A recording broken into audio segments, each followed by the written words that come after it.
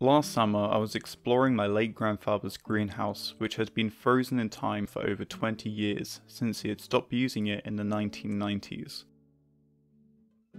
My grandfather was a traditional Jersey farmer who grew tomatoes in greenhouses that were heated by an oil fueled boiler house, which you can see here.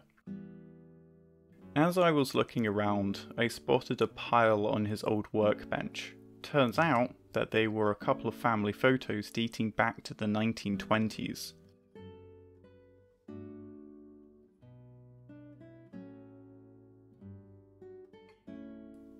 Whilst I am still unsure as to exactly who they are, it is my guess that they were from my paternal grandmother's family, the Luce family, likely my great great uncles and aunts.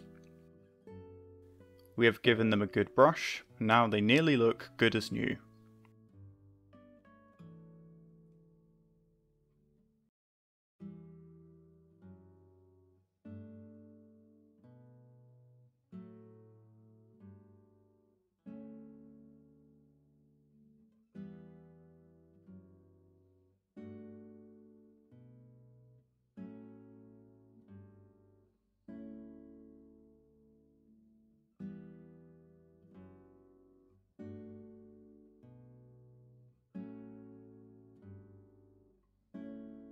I also found this beautiful photo album that probably dates back earlier to the 1910s, which we also tidied up with some brushes.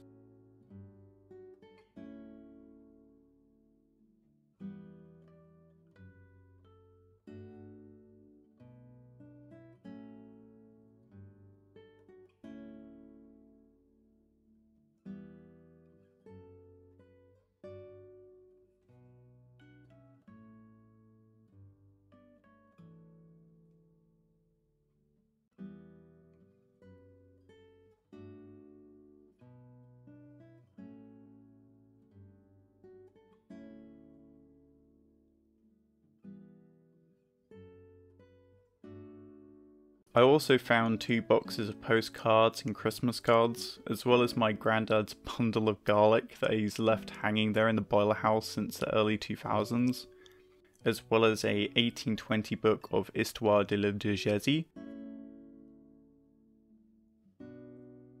and an explanatory book on the Jersey laws from 1916.